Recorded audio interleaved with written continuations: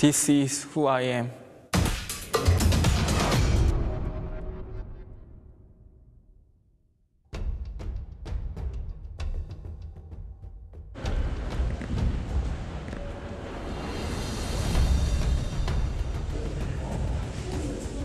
저는 솔직히 말하면은 어떤 상대랑 하고 나보다 평가가 높다고 하는 상대랑 해도 절대로 진다는 생각은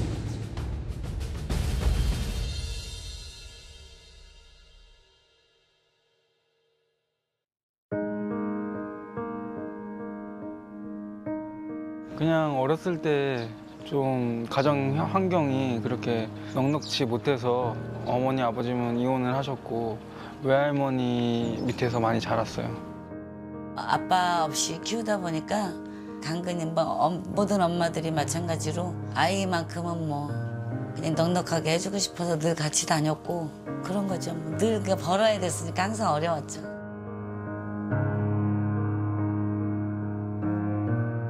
뭐 시합장 같은 데는 매번 따라다니셨고 대회 나갈 때마다 매번 따라다니셨고 응원도 제일 크게 해주셨고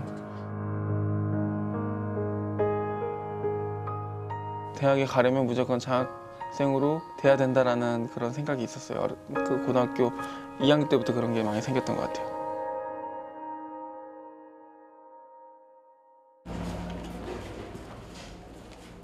여기 예, 이쪽에서 다쳤던 기억이 나네요. 그라운드 기술 같은 거를 훈련하는 도중에 제가 이렇게 엎드렸는데 상대가 이렇게 저를 이렇게 목을 잡으러 오면서 눈을 딱 찌르고 이렇게 딱 빼면서 이게 딱 긁혔어요.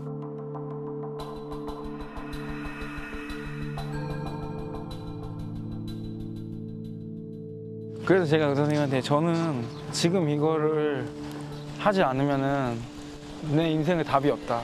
난 이걸 해서 대학도 가야 되고 이거를 해서 성공을 해야 된다.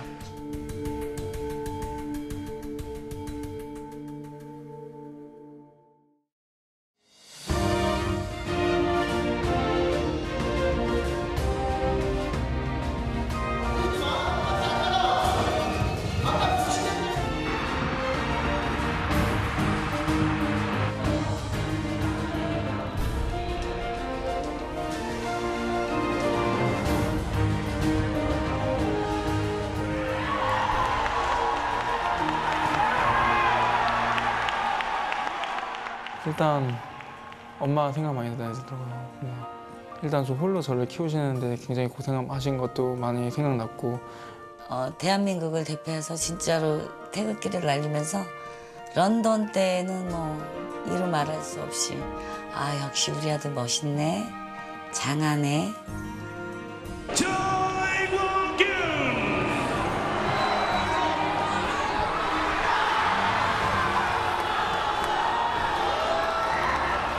일단 유도를 20년 동안 했잖아요. 제가 생각하기에 좀내 몸이 반응하고 있죠. 그 기술 기술에 대해서 타이밍은 어떻게 잡는 거라기보다는 감각적인 게 엄청 크다고 생각해요.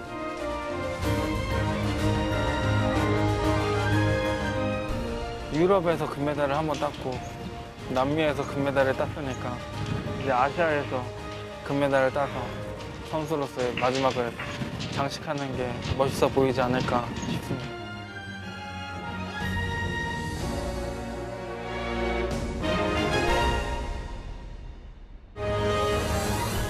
The eight stories about world eight medalists are about to begin. The International Paralympic Committee and Japanese Wow Wow TV's five year documentary series, Season 2.